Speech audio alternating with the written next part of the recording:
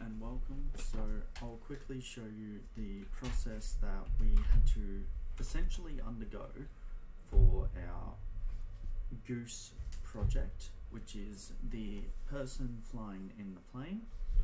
So as you can see, we got all of this. So this is our timeline.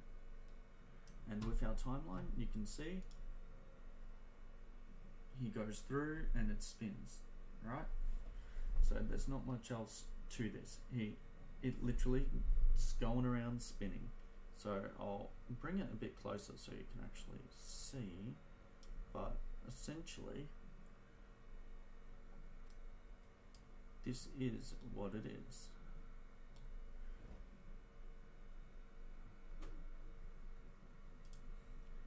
Now, to go a bit more thorough in detail, I will explain a bit more. As you can see, we have our property section here, background renders, scene graph. So don't worry about background renders or scene graph, it's more properties. So you can see all this nonsense everywhere here, which I'll explain shortly. But essentially, we have our curve editor. So everything runs on the curves. But for this, we are mostly going to be focusing on our dope sheet. So if I go to the node graph here and I go down to our viewer, or maybe not the viewer. So as you can see, every time I click on one, it brings up new features. So the viewer has its own options. Z, ZDefocus has its own options. So essentially we wanted to start with our read node where we just push tab and we would go read image and bring that in. So I don't need to do it right now but as you can see it goes up connects into the curve tool. Our curve tool comes after we've done our crop. So our crop comes in and then our curve tool. And after our crop we go down to shuffle G1 pass so you can see that I have it as GI RGBA and with our node we have the open bracket knobbin one close bracket space pass. So that renames it to shuffle one G1 pass. Well GI pass I mean. Um, it then goes into our pre-mult, so our unpremult, which goes into our merge one plus, which as you can see is connected in with grade 2 which is connected in with grade 1 now these grades are just to adjust your colors and your focal points and so forth. Now grade 1 is connected in with some noise so the noise adds a semi-cloud sort of aspect but you can see on the Z scale 13 well 3.15 but you can see that it rises as we go up so it just keeps moving. That's exactly what we want. Now, the unpremult that's connected into our grade 1 pass connects into shuffle 2 light pass. So that's where the light comes through. We have our shuffle 3 color pass, which of course RGB functions, uh, connects into our unpremult which connects into our merge 2 multiply. But you can see that our merge 1 is on plus, so you adjust the operation here and it becomes plus, which goes into grade, and merge 2 multiply goes into our merge 3 plus, which is connected to our unpremult 4, which is connected to a blur 2 all. Now we only have this connected to our reflective pass. So RFL is reflective.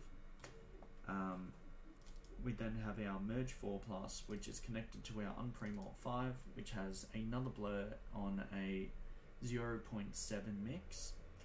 Um, we also have our specular pass, which is SPC, and as we go on, our merge 5 part, merge 5 plus is connected with our merge 4 which is connected in with our unpremult 6, which is connected in with our shuffle 6 subsurface scattering pass. So if we go all the way back up here, you see that Goose connects off, and goes up, and as we go down, it goes across a little bit more, goes down, and then across and down into our shuffle 7, which happens to also be connected in with our curve tool, which we mentioned earlier.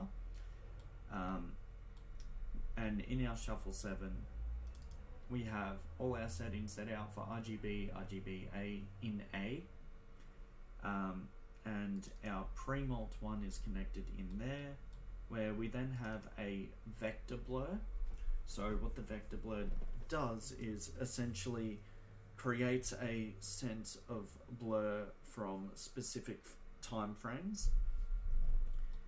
And from our vector blur, it goes on to our merge 6 over. So we want the operation over instead. Which connects in with our shuffle 8 and our shuffle 8 is linked to our shuffle 7 which is then linked to our curve tool so it all co-aligns with each other. Filter, you don't need to worry about this, but shuffle 8's image is connected into defocus where you will then press tab again and create a write node. So what the write node does is essentially it will write your file. So you'll go into your file and you'll name it whatever you want. In my case, I named it goose.mov and this will essentially create the file type as MOV.